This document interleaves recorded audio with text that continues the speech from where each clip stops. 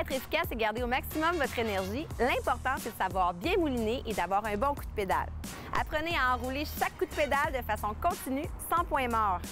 Souvent, j'entends les gens dire tire, pouce, tire, pouce. Non, c'est pas comme ça qu'il faut pédaler. Ça va vous donner un coup de pédale saccadé. Ce que vous voulez, c'est pédaler rond. Décortiquons le mouvement.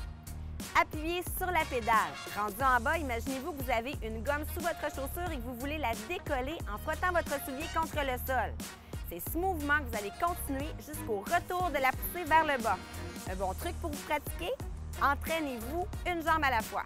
Si vous avez une trop grande difficulté lorsque votre pied est en haut, c'est peut-être parce que votre selle est trop basse. Pour avoir un coup de pédale idéal, votre position doit être optimale. Utilisez les petites vitesses, évitez les gros braquets. Essayez d'avoir une cadence entre 85 et 95 coups de pédale par minute que vous allez maintenir tout le long de votre entraînement. Si vous avez tendance à sauter sur votre selle, c'est que votre coup de pédale est saccadé et que votre cadence est un petit peu trop élevée pour la capacité que vous avez. Donc, pratiquez-vous. Si vous voulez être bon face au vent, il n'y a pas d'autre solution que d'avoir un coup de pédale rond.